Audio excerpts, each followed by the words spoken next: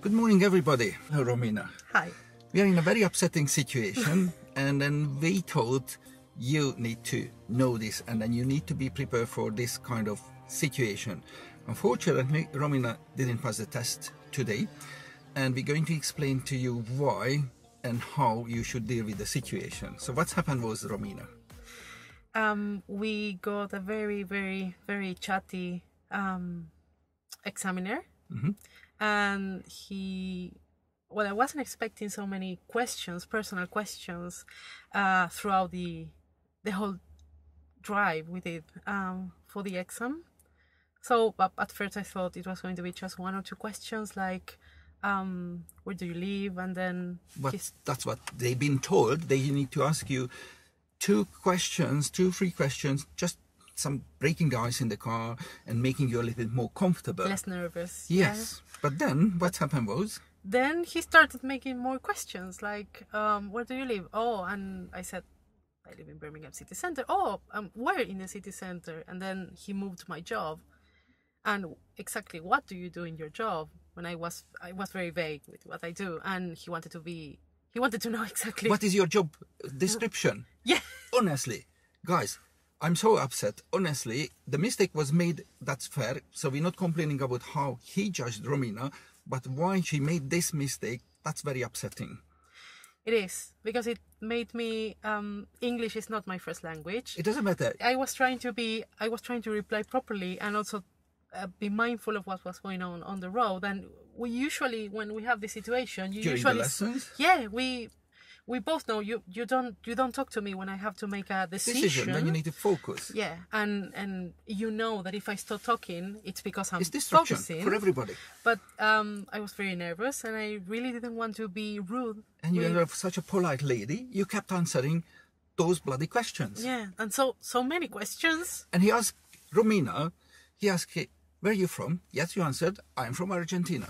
But exactly from Argentina? You said, I am from the capital for Buenos Aires. Then he asked you, when you saw your family last time? You said, last year. How long have you been in the UK? One and a half year. Who is here with you? My sister. Only your sister? Guys, I honestly, I was so upset. So you need to bear in mind if this happens, you need to make a complaint. Because when we were approaching to a complicated, very complicated freelance roundabout, and the guy asked Romina, What do you do on your free time? Guys, I felt like we are an interrogating job interview or a first date. And Romina started to answer the question and collecting what you said. Yeah, I uh, collect. I read and, and collect uh, vinyl records. Yes, and she said, Oh, that's lovely. And we were approaching the roundabout, and Romina get lost. And she made a bad decision because she was focusing on answering those bloody questions from the examiner. She went to the wrong lane as she entered to the roundabout and then cut in front of somebody. Of course, that's a make a mistake. That's we're not questioning. That was dangerous.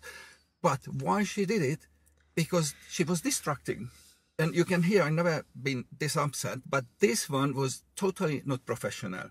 No, I, I noticed that uh, a few times when he was small talking, he would he would uh, give instructions where we were almost at, at the point where we needed to make up I don't know turn left or or keep right or whatever. It's like he realized that he wasn't giving the instructions way in advance because he was talking.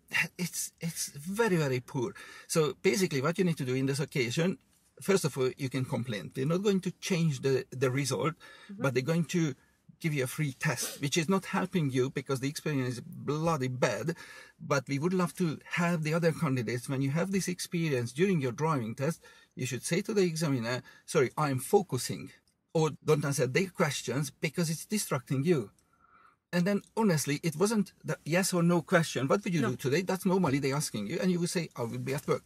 That's it. Conversation closed. And he asked, "What is your job description? What do you do exactly?" You said you're auditing. What are you auditing? How long? You said 12 years, or you continuing from Argentina to back in the UK. Guys, this is unacceptable. Okay, it's extremely unprofessional, and you shouldn't engage this type of conversation during the driving test. You're not going to be rude.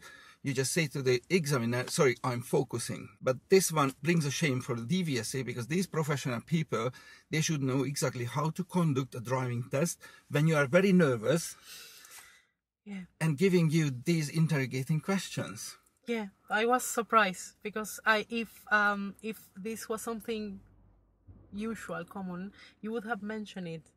Of course, And- I would prepare and- you and for I- that one. Right. And I, I, I really didn't want to be, you know, um, rude with him, not Exactly. answering. Um, yeah, I, I, I should have. I mean, now I learn, and next time if someone is talking, I'm just going to, no, just going to focus on myself and my driving. But Exactly. e- even the question, even if you don't answer, it it's still in your head. Yes, you're still thinking about it. If not the answer, you think about why is he asking me these questions. It's not their business. It's their business to assessing me, am I driving safely or not? and, and they were very I was thinking, am I going to ask your number, phone number after the test? Because he was interrogating you like a private questions. Honestly, guys, very, very upsetting. I've never been this upset. Uh, look, I've been doing this business since 2009, over 14 years by now. Sat on thousands of tests, and I never experienced this one. What we do in a mock test, what we normally they do on the driving test, I ask you two questions. Where do you live? What would you do if you would be working today? Those questions are totally normal. They've been taught by their boss to ask this question to break the ice. But interrogating somebody, that's rather patronizing, pushing you in a position when you're already very nervous mm. and making you totally, it's like a intimate conversation. Yeah, it. I, I- wasn't. I wasn't very comfortable. Not at all. Not at all. And why we making this video? Because we want you to be prepared if something happens, if somebody's approaching you like that on the driving test, you need to reject the conversation. Mm-hmm.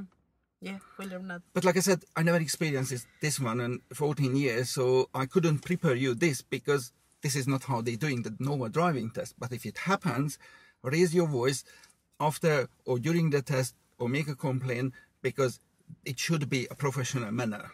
I'm happy you were with me. Um, Absolutely, I was sitting back. behind you. I was pulling my hair out. but I'm. I I'm, couldn't believe it. I- I'm, I'm happy you were there. Um, because otherwise the the exam would have been, oh, you you made this mistake, so you're not passing today, and I I would have been left just with my experience, just And then you would questioning your driving ability and your concentration, and then you would doubt your your smartness, your your driving skills. Obviously, like I said, even if I witness the situation, they're not going to change their mind. They're going to say, "Oh, you passed your driving test," not because we made that bloody mistake. That's absolutely acceptable. Mm. But for that reason, I would suggest take your driving instructor with you for the driving test because if something happens, at least you would be confirmed you did the right thing. Unfortunately, somebody has messed up your success. Somebody messed up your driving test. Sorry, guys, I'm very upset. Normally, you, if you see in my videos, I never been this upset, but this is absolutely, I can't accept it.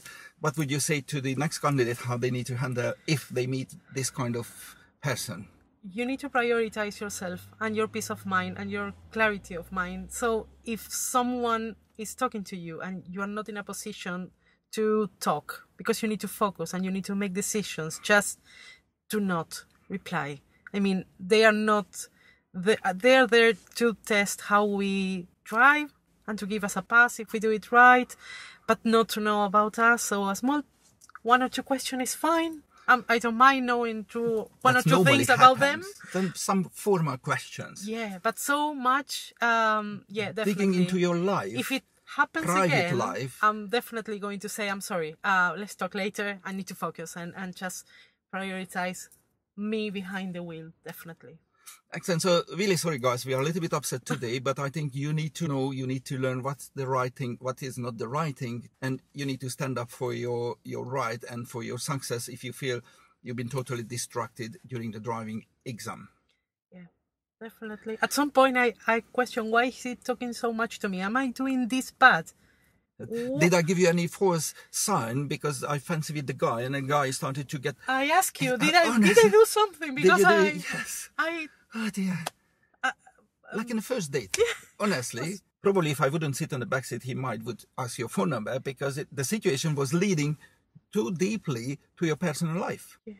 It's good. So be careful. We wish you best of luck. And one more time, apologies for the upsetting tone, but it's it's for your sake to not ending up in this kind of situation. Thank you very much, Romina, one more time to My share this experience. So we will be absolutely happy to pass you next time. Okay, but we had to get out this one from your chest for the sake of for other candidates in the country. Definitely.